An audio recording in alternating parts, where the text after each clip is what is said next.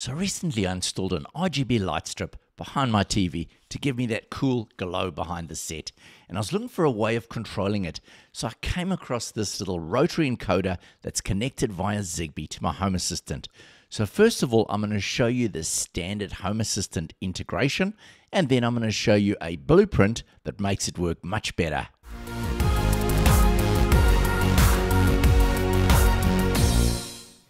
So for the LED strip, I chose one of these kits from Athom, which comes including the LED cob strip, plus an Athom controller preloaded with WLED and the power supply.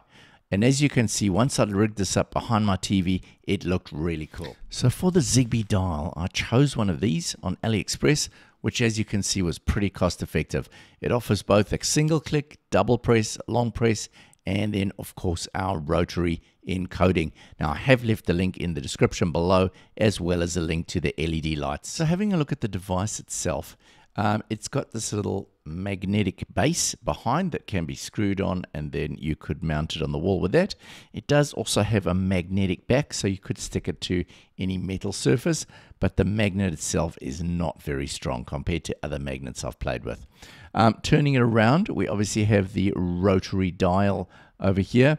Now the problem that I have with this rotary dial Unlike many of the dials that are on the outside, this one is actually on the inside, the turning part, and these little rotation um, or these little marks on it are actually not helping me much in the way of turning this. So I may need to modify this slightly to make it easier to use, but I'm also going to explore some of the other ones on the market.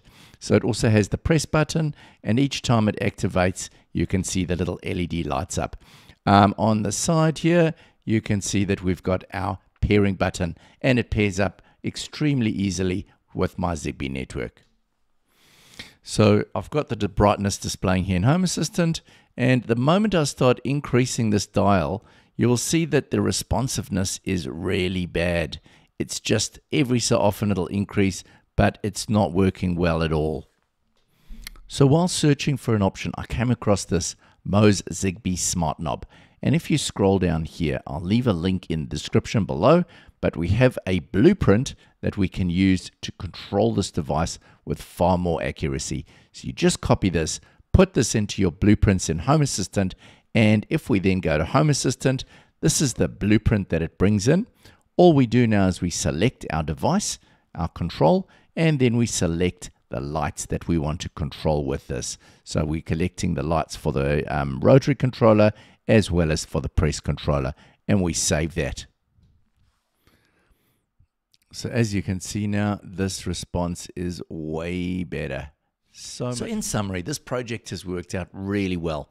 However, I would recommend trying one of those rotary encoders where you hold the dial on the outside rather than the on the inside like this. I think it'll be much more easy to control and I have ordered one of those and I will give your feedback in the comments once that arrives. But anyway, that's all for now. I hope you've enjoyed this content. If you have, please like and subscribe, and I look forward to seeing you in the next one. Bye for now.